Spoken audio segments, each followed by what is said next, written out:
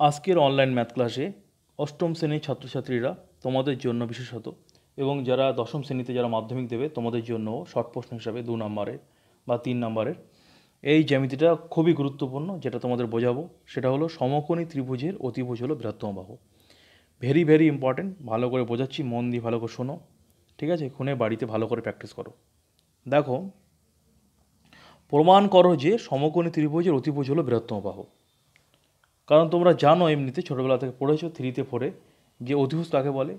সমকোণী ত্রিভুজের সমকোণের বিপরীত বাহুকে অতিভুজ বলে বা সমকোণী ত্রিভুজের বৃহত্তম বাহুকে অতিভুজ বলে। ঠিক আছে? তো সেটা এখন প্রমাণ করতে হবে। বড় ক্লাসে উঠে এটা এখন প্রমাণ করতে হবে। যে সমকোণী ত্রিভুজের বৃহত্তম বাহু যে অতিভুজ, সেটা প্রমাণ করে দেখাও। তা কীভাবে প্রমাণ করতে হবে? চলো মন দিয়ে শোনো ভালো করে, আমি বোঝাচ্ছি। দেখো তাহলে প্রমাণ করছি সমকোণী ত্রিভুজের অতিভুজ হলো বৃহত্তম বাহু। দেখো সমাধানে কি বলছে? মনে করি এবিসি একটা সমকোণী ত্রিভুজ, দেখতে পাচ্ছি এবিসি একটা সমকোণী ত্রিভুজ। যার এবিসি কোণ নব্বই ডিগ্রি, দেখতে পাচ্ছি এবিসি কোণ নব্বই ডিগ্রি। সুতরাং এবিসি ত্রিভুজের অতিভুজ হলো এসি তাই এবিসি ত্রিভুজ অতিভুজ কি? এসি ঠিক আছে? তাহলে কি প্রমাণ করতে হবে? প্রমাণ করতে হবে যে এবিসি ত্রিভুজের বৃহত্তম বাহু হলো এসি বাহু। অতিভুজ এসি বা এসি বাহু হলো বৃহত্তম বাহু। ঠিক আছে? তাহলে কীভাবে প্রমাণ করছি, এবার মন দিয়ে খেয়াল করো। দেখো প্রমাণ, যেহেতু কোণ এ বি সি নব্বই ডিগ্রি, দেখতে হচ্ছে কোন এ বি সি এটা নব্বই ডিগ্রি।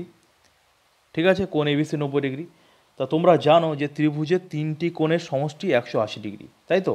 তাহলে এই কোণটার যদি নব্বই ডিগ্রি হয়, তাহলে বাকি এই দুটো কোণের সমষ্টি কত হবে? নব্বই হবে। ঠিক আছে? তাহলে এই দুটো কোণের সমষ্টি যদি নব্বই ডিগ্রি হয়, তাহলে তো বলো তো এই দুটো কোণ তো সূক্ষ্ম কোণ। মানে কি? নব্বই ছোট হতে হবে। তবে তো এই দুটো কোণের সমষ্টি নব্বই ডিগ্রি হবে। সে ষাট তিরিশ হতে পারে, পঁয়তাল্লিশ পঁয়তাল্লিশ হতে পারে। ঠিক আছে? সত্তর, কুড়ি হতে পারে।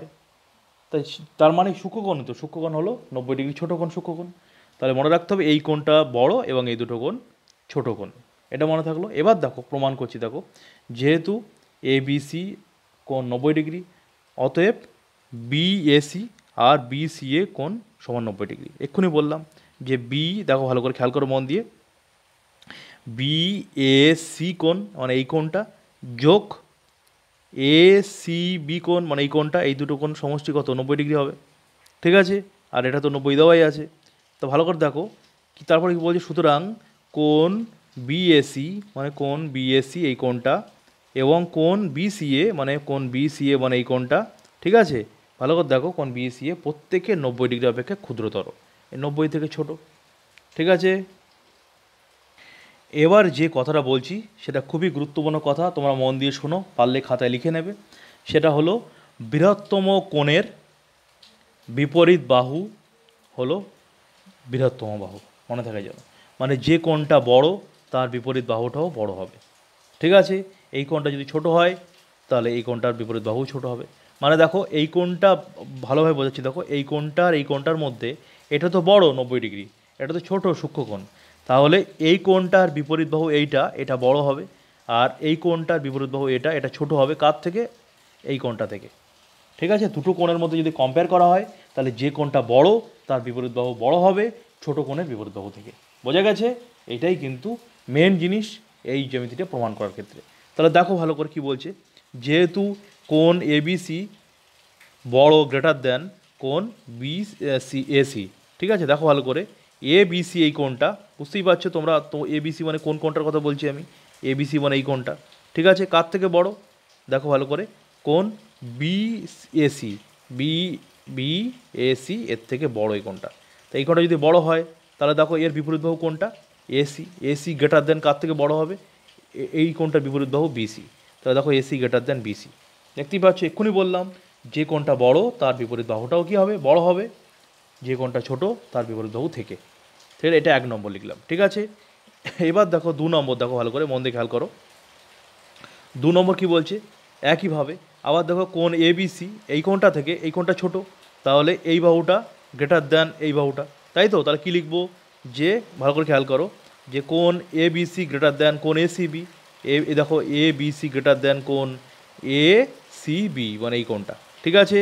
তাহলে অত কি বলা যেতে পারে? এসি বাহু এসি বাহু গ্রেটার দেন মানে বড় কার থেকে? এ বি বাহু থেকে। এটা দু নম্বর লিখলাম। ঠিক আছে? এবার ভালো করে খেয়াল করো, প্রমাণ হয়ে গেছে। এবার দেখো, এই এক নম্বর এবং দু নম্বর থেকে পাই।